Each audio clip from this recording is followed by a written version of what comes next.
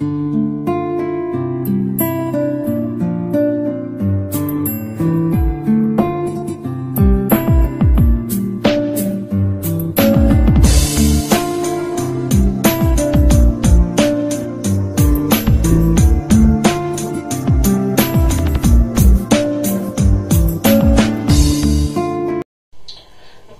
Patel College Bhandara, Department of English welcomes you all in this digital classroom.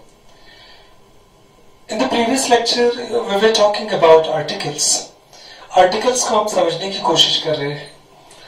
And we are trying to summarise we are trying to gather the knowledge about articles and we are trying to make it easy exercise for the examination examination में, हमें exam में ये solve करते समय आसानी हो। इस उद्देश्य से हम आर्टिकल को समझने की कोशिश कर रहे हैं। हमने ए का इस्तेमाल कहाँ करना? एन का इस्तेमाल कहाँ करना और कहाँ नहीं करना, इसके बारे में हमने डिस्कस किया। आर्टिकल का यूज़ करते समय ए और एन कहाँ पर लगते हैं, ये जैसे पता होना चाहिए, वैसे ही ये कहाँ पर नहीं लगते, ये भी जानना उतना ही ज़रूरी है। आज के इस आर्टिकल के सेकंड प्रेजेंटेशन में हम कुछ और आर्टिकल से रिलेटेड रूल्स की बात करने वाले हैं। हमने ए और एन के बारे में डिस्कस किया। अभी हम डेफिनेट आर्टिकल द के बारे में बात करेंगे। ए को और एन को इनडेफिनेट आर्टिकल क्यों कहा? और द को डेफिनेट आर्टिकल क्यों कहते हैं? यह भी हमें समझना ज़रूरी है। आई सॉ टाइगर इस सेंटेंस में ए आर्टिकल लगाया हमने। ए का मतलब होता है इनडेफिनेट अनसर्टन अनिश्चित। आई सॉ अ टाइगर इसका मतलब होता है मैंने एक टाइगर देखा। पर आर्टिकल तो लगाए ए टाइगर देखा, टाइगर ही था या नहीं था, ये गारंटी के साथ बता नहीं सकते। पर उसी सेंटेंस को आई सॉ द टाइगर अगर कहा तो मैंने टाइगर ही देखा। टाइगर के अलावा कुछ नहीं देखा। इस बात को कंफर्म गारंटी के साथ कहा जा सकता है। तो ए आर्टिकल के और द आर्टिकल के यूज़ करने में सेंटेंस के मीनिंग में इतना फ़र्क आ जाता है। हम बहुत आसान तरीके से ये जानने की कोशिश करेंगे कि द आर्टिकल कहाँ कहाँ पर लगाया जा सकता है। पहला रूल है, before the names of mountains. किसी भी प्रकार के माउंटेन्स के पर्वतों के नाम अगर है तो उनके सामने द आर्टिकल लगाना नियम number one. The Mount Everest, the Himalaya. बहुत आसान काम है। दूसरा एक इम्पोर्टेंट नियम है, before the names of rivers. कहीं भी आपको नदियों के, तालाबों के नाम दिखाई दे तो उसके सामने द आर्टिकल लगाना the Ganga, the Nile, the Kaveri. तीसरा इंपॉर्टेंट नियम है before the names of oceans sea bay gulf किसी भी प्रकार के समुद्र के महासागर के या उपसागर के नाम हो, खाड़ियों के नाम हो गल्फ के तो उनके सामने द आर्टिकल लगाना है। The Indian Ocean, the Red Sea, the Bay of Bengal, वगैरह वगैरह। आप आसानी से समझ रहे हैं कि द आर्टिकल कहाँ कहाँ पर लगाना है।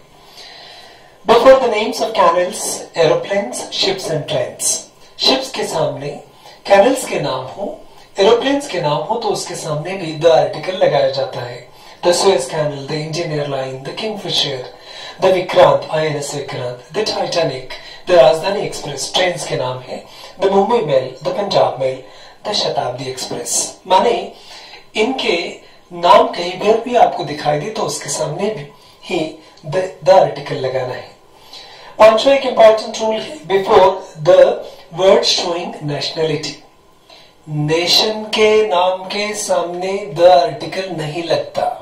जैसे इंडिया पाकिस्तान श्रीलंका बांग्लादेश पर वहाँ के जो सिटीजन्स है, वहाँ के रहने वाले नागरिक है, उनकी नागरिकता को दर्शाने वाले शब्दों के सामने द आर्टिकल लगता है।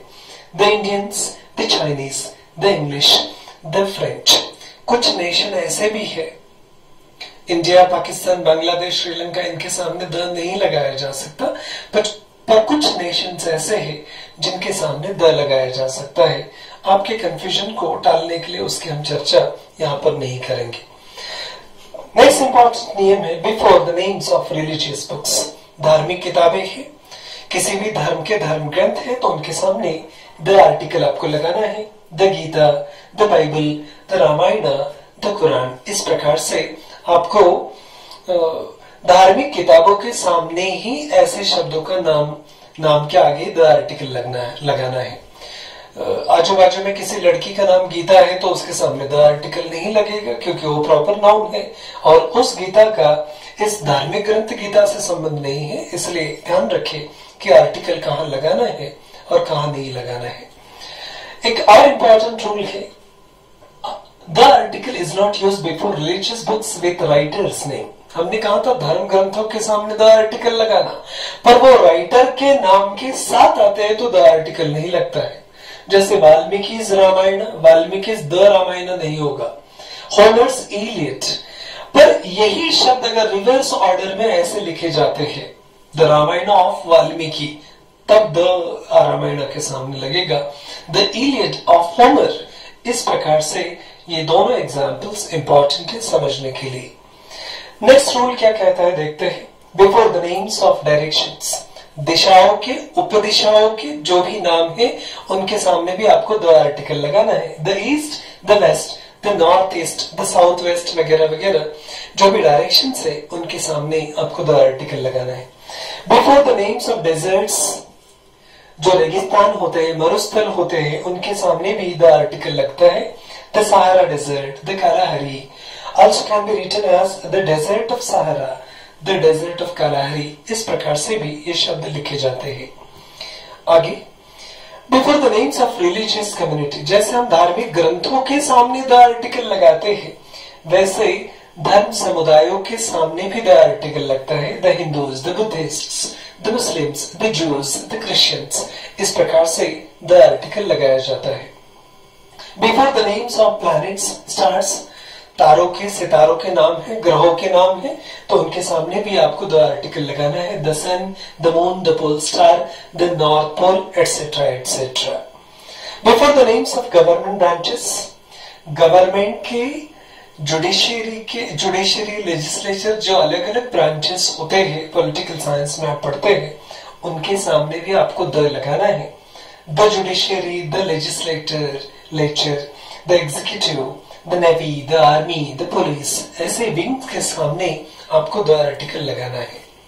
कुछ और जगह है जहाँ पर द लगता है। Before the names of historical families historical empires जो ऐतिहासिक एम्पायर से घराने हैं, उनके सामने भी आपको द लगाना है। The Roman Empire the Mughal Empire इस प्रकार से। नेक्स्ट रूल है हिस्टोरिकल प्लेसेस भी है जिनके सामने द आर्टिकल लगाया जाता है। The Gandhi Maidan the Panipat the White House ऐसे हिस्टोरिकल प्लेसेस के सामने भी आपको दो आर्टिकल लगाना है। हिस्टोरिकल बिल्डिंग्स और मॉन्यूमेंट्स होते हैं, उनके सामने भी आपको दो आर्टिकल लगाना है। जैसे the Taj Mahal the Red Fort the Qutub Minar etcetera etcetera the historical event कुछ हिस्टोरिकल इवेंट होते हैं, जो हिस्ट्री में लैंडमार्क इवेंट्स मानी जाती है, उनके सामने भी आपको दो आर्टिकल लगाना है। जैसे the battle of Panipat the Civil War of America the Russian Revolution इस प्रकार के इंपॉर्टेंट हिस्टोरिकल इवेंट्स के सामने भी द आर्टिकल आता है। हिस्टोरिकल पीरियड या एज जिन नामों से जाने जाते हैं इंग्लिश लिटरेचर में जैसे द विक्टोरियन एज है द रेनासा है द ओल्ड स्टोन एज है द मिडिल एजेस है द एलिजाबेथन एज है, इस प्रकार के युग जिनको कहते हैं, जो पीरियड होता है, उनके सामने भी द आर्टिकल आपको लगाना है। हम द आर्टिकल का इस्तेमाल कैसे करना है कहाँ कहाँ पर करना है, इसके बारे में डिस्कस कर रहे हैं। कुछ इंपॉर्टेंट रूल्स को हमने डिस्कस किया। और एक इंपॉर्टेंट रूल है before the names of political parties बहुत सारे ग्रामर की किताबों में, जो हाई स्कूल लेवल पे, या हायर सेकेंडरी लेवल पे, या थोड़े बहुत डिग्री लेवल पे बुक्स आती है, वहाँ पर ऐसे रूल्स होते नहीं है। आप कॉम्पिटेटिव एग्ज़ाम के अलग अलग बुक्स जब पढ़ेंगे रेफर करेंगे डिटेल्स में, तब ये रूल्स आपको वहाँ पर दिखाई देते हैं। Before the names of political parties जो राजनीतिक दल होते हैं, उनके सामने भी द आर्टिकल लगाना है। जैसे the Congress party the Bharatiya Janata party the communist party of India इनके सामने आपको दो आर्टिकल लगाना है। ये इंपॉर्टेंट रूल है। Before the names of musical instruments as musical instruments ये म्यूजिकल इंस्ट्रूमेंट के सामने द आर्टिकल लगाना है, जिनका यूज़ म्यूजिकल इंस्ट्रूमेंट जैसा ही होता है। ये शब्द इंपॉर्टेंट है, क्योंकि म्यूजिकल इंस्ट्रूमेंट को एक सेपरेट वस्तु के तौर पर समझा गया है, या उसको म्यूजिकल इंस्ट्रूमेंट के तौर पर यूज़ किया गया, ये भी आपको देखना है। क्योंकि कभी कभी म्यूजिकल इंस्ट्रूमेंट के सामने ए और एन आर्टिकल भी आते हैं। क्यों आते हैं हम? आगे बात करने वाले हैं। पर यहाँ अगर तबला का मतलब म्यूजिकल इंस्ट्रूमेंट ही है म्यूज़िक से रिलेटेड ही एक्शन चल रही है तो उसके सामने द आर्टिकल लगाना है the tabla the piano the violin पर जब इनको एक कमोडिटी समझा जाता है, एक चीज़ समझी जाती है, वस्तु समझी जाती है, खरीदना, बेचना, रखना, इस प्रकार के सिचुएशन में इन इंस्ट्रूमेंट का यूज़ करते हैं। अब वस्तु रहे हैं, खरीद रहे हैं, बेच रहे हैं तो यहाँ पर म्यूज़िक वाली एक्टिविटी नहीं हो रही है। तो ऐसे वस्तुओं के सामने फिर आपको ए और एन आर्टिकल लगाना पड़ेगा। जैसे ही bought a piano she gave me a harmonium इसमें लेन देन की प्रक्रिया हो रही है, खरीदने की, बेचने की प्रक्रिया हो रही है। म्यूज़िक से रिलेटेड एक्टिविटी नहीं हो रही है। इसलिए यहाँ पर ये वस्तु है कमोडिटी है। यहाँ पर ये म्यूजिकल इंस्ट्रूमेंट है। इसलिए द कहाँ पर लगाना? और अ आर्टिकल कहाँ पर लगाना इन चीज़ों का आपको एग्जामिनेशन में ध्यान रखना पड़ेगा। एक और इंपॉर्टेंट रूल की बात करते हैं। जब भी कोई शब्द एडजेक्टिव किसी क्लास को रिप्रेजेंट करता है, दुनिया की सारी व्यक्तियों को, वस्तुओं को रिप्रेजेंट करता है तो ऐसे एडजेक्टिव के सामने, भले ही वो सुपरलेटिव डिग्री में ना हो, इनके सामने द आर्टिकल लगता है। The rich the poor the wicked the educated. और ये सिंगुलर नाउन के तौर पर ही आते हैं। प्लोरल फॉर्म नहीं लिखे जाते। एक और इंपॉर्टेंट रूल है। ये कॉमन रूल है। आपने डिग्री में भी इसको सुना है। जब भी वर्ग को S T S T I S T लगता है, वो सुपरलेटिव के फॉर्म में चला जाता है। तब तो उसके सामने जब भी ये शब्द आएँगे, उसके सामने आगे आपको दो आर्टिकल लगाना है। The biggest the largest the most पर मोस्ट के बारे में हमने इसके पहले भी एक रूल डिस्कस किया था। मोस्ट का मीनिंग अगर वेरी होता है तो वहाँ पर द नहीं लगता। इसलिए हम बार बार कह रहे हैं आपको कि प्रिपोजिशंस और आर्टिकल्स ये दो एक्सरसाइज ऐसी है, जिनको मास्टरी करने के लिए, जिनके ऊपर कमांड करने के लिए हमें बहुत बारीकी से इनको समझना होता है। One more important rule before the ordinal adjectives first second third इनको हम ऑर्डिनल्स कहते हैं। इनके सामने ऑर्डिनल्स और कार्डिनल्स ऐसे दो अलग अलग प्रकार के नंबर्स होते हैं। इन ऑर्डिनल्स के सामने भी हम आर्टिकल्स द लगाते हैं। The first the second the third इस प्रकार से आपको आर्टिकल का यूज़ करना है। One more important use the, in comparative degree, if it is in increasing or decreasing order ये इंपॉर्टेंट रूल है। हमने कहा सुपरलेटिव डिग्री में जहाँ वर्ब जहाँ एडजेक्टिव को S T S T I S T लगता है एडजेक्टिव एडवर्ब को, उसके सामने द आर्टिकल लगाना। कंपेरेटिव डिग्री में द लगता ही नहीं है। पर यहाँ नियम क्या कहता है?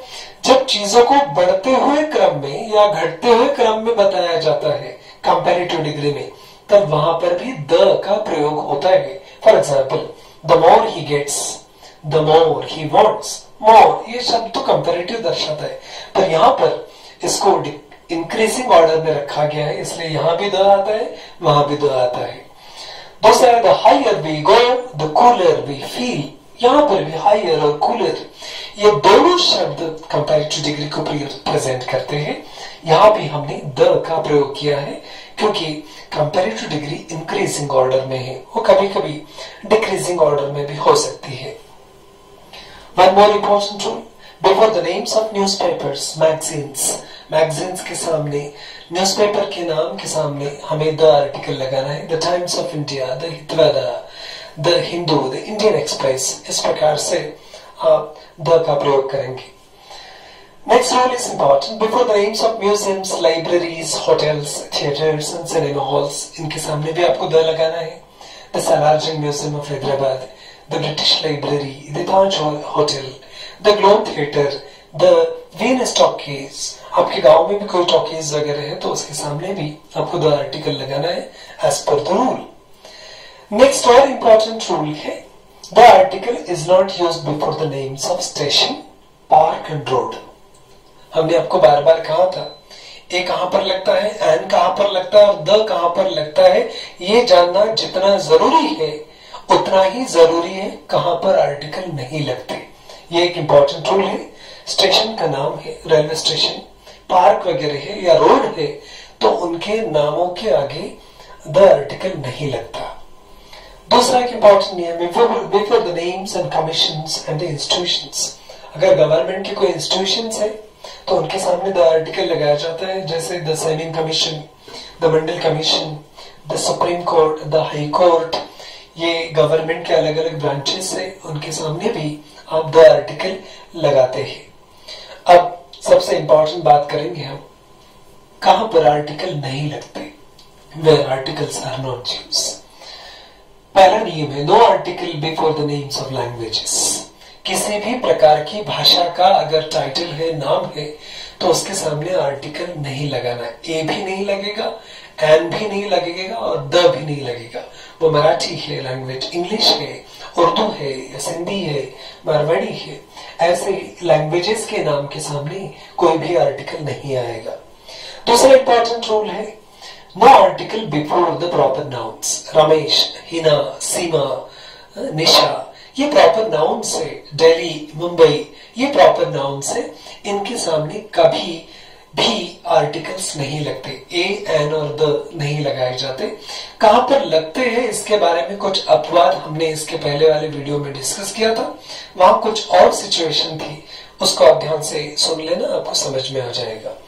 तीसरा एक इम्पोर्टेंट पार्ट है इसमें. No article is use before the names of subjects जो सब्जेक्ट्स आप स्कूल में कॉलेजेस में पढ़ते हैं इंग्लिश है मराठी है हिंदी है फिजिक्स है केमिस्ट्री है मैथमेटिक्स है इन सब्जेक्ट्स के सामने भी द आर्टिकल ए आर्टिकल या एन आर्टिकल नहीं लगता। चौथा इंपॉर्टेंट रूल है no article before abstract nouns good bad knowledge sweet इस प्रकार के एब्स्ट्रैक्ट नाउन्स होते हैं अनकाउंटेबल्स होते हैं। उनके सामने भी ए एंड द आर्टिकल नहीं लगाए जाते। No article is use before the names of meal meal से संबंधित डिनर लंच ब्रेकफास्ट जैसे शब्द है। इनके सामने भी आर्टिकल का प्रयोग नहीं होता। No article is is use before the names of season जो अलग अलग प्रकार के सीज़न से ऋतु है, उनके सामने भी आपको आर्टिकल का प्रयोग नहीं करना है। No article before the names of festival Holi है, दिवाली है इस प्रकार के अलग अलग फेस्टिवल्स आते हैं, उनके सामने भी आप ए एंड डी का प्रयोग नहीं करेंगे। No article is is before the names of diseases pneumonia है फेलेरिया है, या अलग अलग प्रकार की बीमारियों के नाम है कैंसर है तो उसके सामने आपको द आर्टिकल ए आर्टिकल या एन आर्टिकल नहीं लगाना है। No article is use before the names of days Sunday Monday Tuesday वगैरह डेज़ है जनवरी फरवरी मंथ से इन नामों के सामने भी कोई आर्टिकल नहीं लगता। No article is use before the names of universities universities के नाम जो Rashtra Sant Tukdoji Maharaj university Sant Gadge Baba university Savitribai Phule Pune university इन यूनिवर्सिटीज के नामों के आगे भी आर्टिकल नहीं लगाए जाते। No article is use before the names of schools colleges church hospitals and jails school के नाम है, कॉलेजेस के नाम है, चर्च है, इनके नामों के आगे भी आर्टिकल नहीं लगाए जा सकते। अब हमने अभी तक ए कहाँ पर लगाना एंड कहाँ पर लगाना द कहाँ पर लगाना और कहाँ पर आर्टिकल्स बिल्कुल नहीं लगाना, इन सारी चीज़ों के बारे में बहुत विस्तार से हमने डिस्कस किया है। अब कुछ एक्सरसाइज है आपके लिए। इन एग्जाम्पल्स को आप करके देखें। विंटर 2017 में ये कुछ एग्जाम्पल्स भी पार्ट वन के एग्जामिनेशन में पूछे गए थे। ये कुछ एग्जाम्पल्स समर 2017 के एग्जामिनेशन में आए थे।